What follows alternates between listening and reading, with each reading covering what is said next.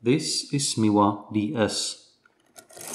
It's a nice Japanese lock with interesting feature that the key can be removed after 180 degree rotation. It's a wafer lock with up to 10 wafers. The key somehow reminds me of the U9, but this one seems to be, let's say, more cheaply made.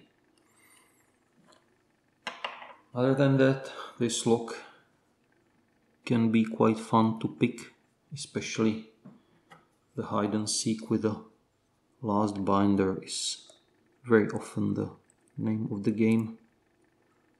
So wafers 9 and 10 are usually the first to bind. That was probably wafer 6 and small core rotation.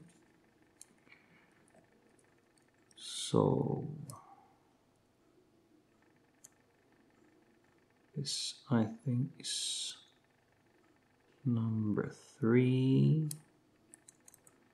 No, didn't need, but the numbers 1 and 2 need attention.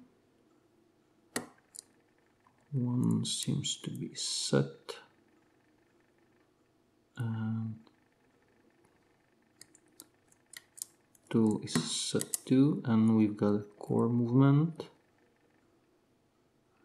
Now I think number 4 is binding and we got a small core, small core movement again. So now let's check the right side. 9, uh, 10 and 9 is springy.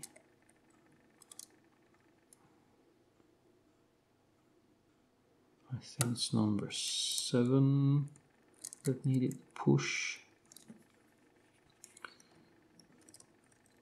So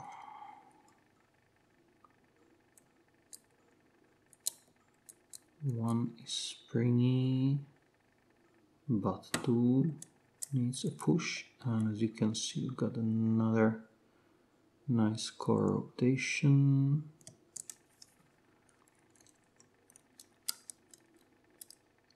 Eight, uh, 10 9 springy I think it was number five or six. Let's switch for a deeper pick.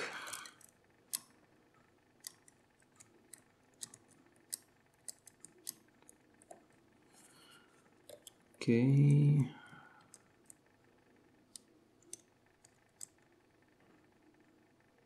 Number four maybe.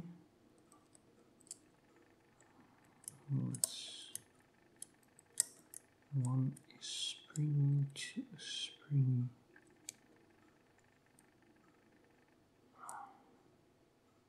Come on. Hmm. Nope. Ten, nine. There's nothing in eight. Seven.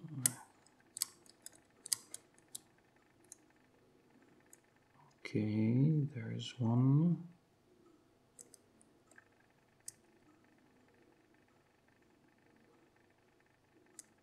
Hmm. Not really.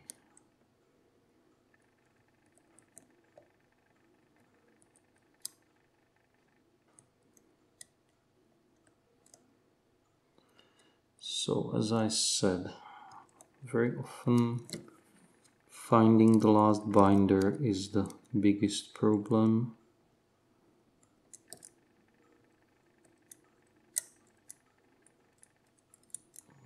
Springy. Okay, so it was number two. So we are picked.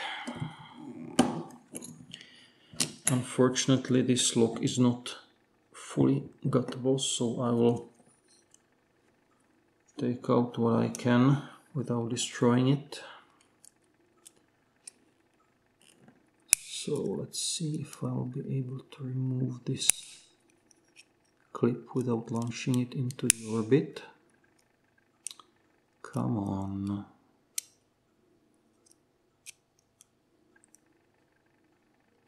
Okay.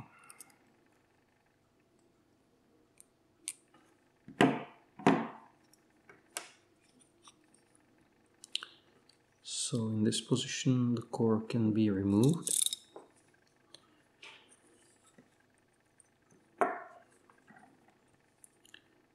So here you can see the first and the second groove where the uh, wafers bind.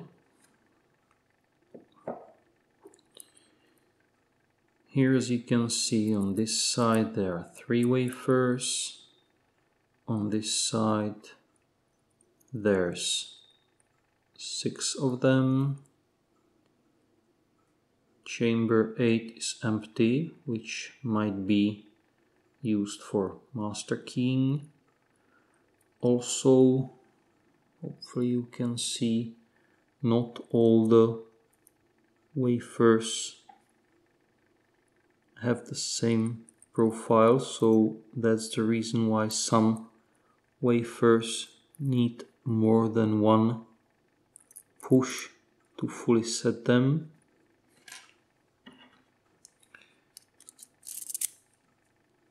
As you can see with the key inserted, everything is in line.